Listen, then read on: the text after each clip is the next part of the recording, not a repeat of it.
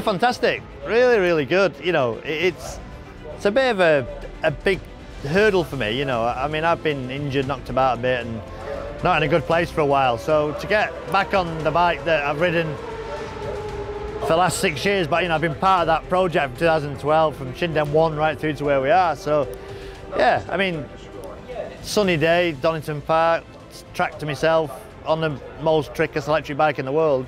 Yeah, fantastic, you know, really, really good. And uh, yeah, you can just feel the steps forward. I've, you know, I've been out of the picture for a couple of years and you know, Rutter's pinched my lap record, or he's borrowed, he's borrowed my lap record for, from last year, so we'll see if we can get, get into his ribs and uh, try and get it back. Yeah, beautiful bit of engineering and great to meet the guys again. You know, they've been they've come through the the years with me, so cool.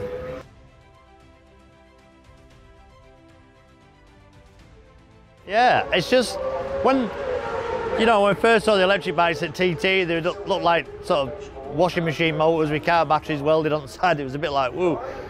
But when I got asked to be part of the project, I jumped at it because I knew these guys are the best in the world. And you know, I went across to Japan first time in 2012, and you know the bike's like, you know, looked great and charging the battery. There was an army of people that had to charge it, had to take the battery out of the chassis to charge it. Well, every year they've gone forward, forward, forward. You know, first year we did it, we did 102 mile an hour.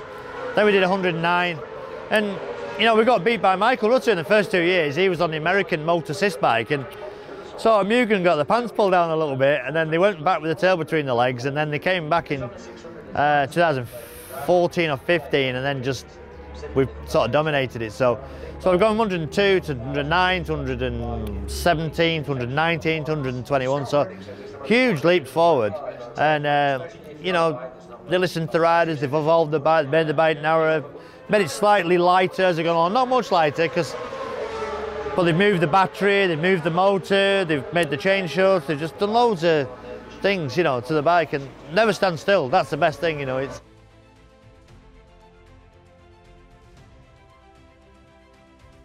It's, it's, do you know what? We're going about styles and people ask me about it.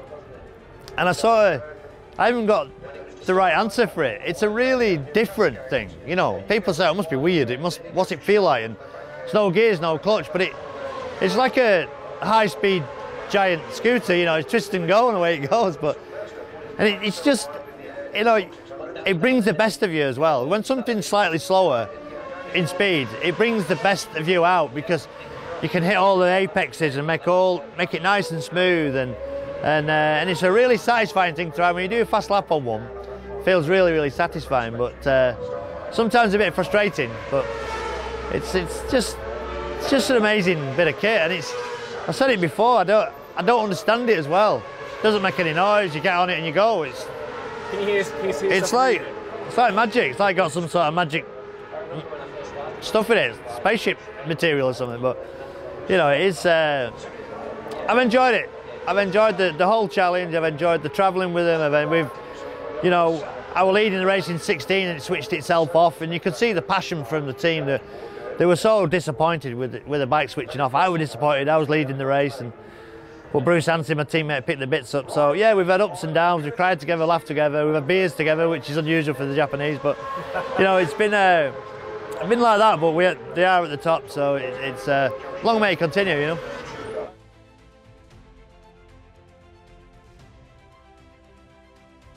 Yeah, I think it's going to be a close one. It'll be down to the wire, I'm sure. But uh, I don't know with Michael. He's a bit, he's a bit, uh, he's a bit savvy. Is Michael? He's quite clever.